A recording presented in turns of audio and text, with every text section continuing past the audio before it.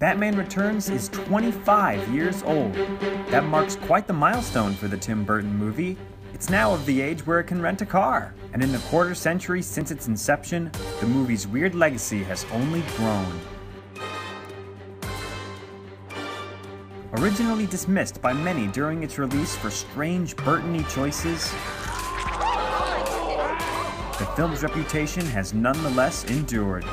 And over time, its 90s affections have bled away, and what remains is a timeless, uncompromising art film in superhero drag. When you get right down to it, Batman Returns is a definitive anti Christmas movie and the darkest superhero movie of all. While there might be more violent superhero movies since it came out, and even grimmer Batman tales about the heroes we need and the ones we deserve, Batman Returns doesn't have any heroes. Not really. These characters are broken toys masquerading as humans during Christmas time in hell. The self pitying pessimism is overwhelming. Considering it also had Happy Meal tie ins with McDonald's, this becomes all the more bizarre. Now you can get a Batman car and a McDonald's Happy Meal. The appeal here comes first from the fact that Warner Brothers wanted to make a sequel to 1989's Batman.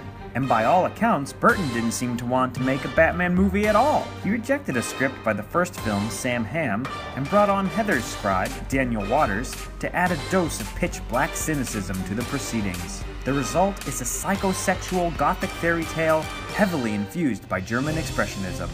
Ignoring a traditional three act structure, Batman Returns acts like a physical manifestation of its protagonist's psyche, as well as a condemnation of the culture that turned Batman into a merchandising icon.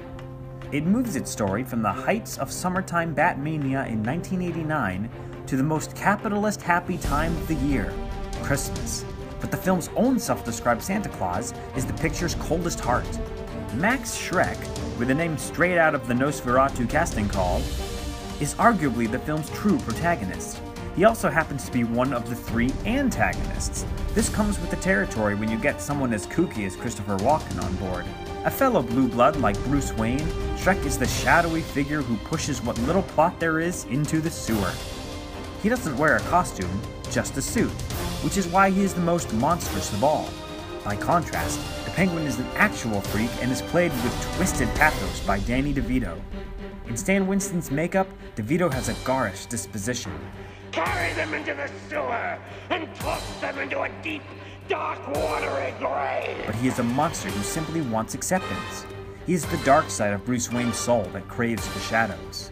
And as the movie suggests, perhaps Bruce would be much the same if he wasn't robbed of his wealth to hide his vices. Just jealous because I'm a genuine freak and you have to wear a mask. You might be right. But the strongest element is, of course, Michelle Pfeiffer as Catwoman. While probably the farthest from the comics of all the on screen Selina Kyles to date, Pfeiffer makes the role her own as an avenging feminist anti hero stuck in the urban world's version of Stepford.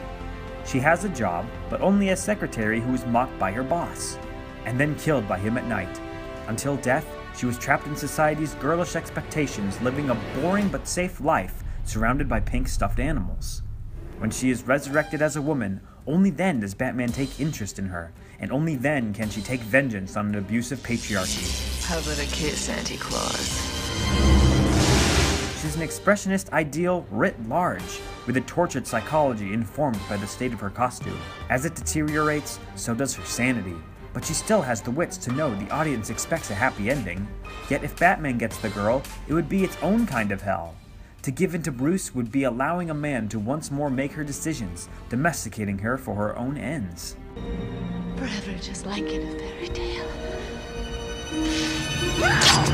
I just couldn't live with myself.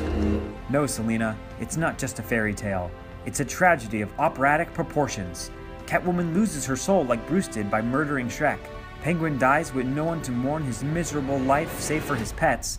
And Bruce Wayne ends up on Christmas Eve alone, realizing that there is very little good in the world and there is no heroism to be found in it. Told with a startling art direction unique from even the 89 film, Batman Returns is the closest superhero movies have ever come to an art house production. One that is unforgiving and unconcerned about plot or pacing. More crowd pleasing ones too. But to have this standalone melodrama so removed from franchise, sequel, or even basic audience demands is a Christmas miracle.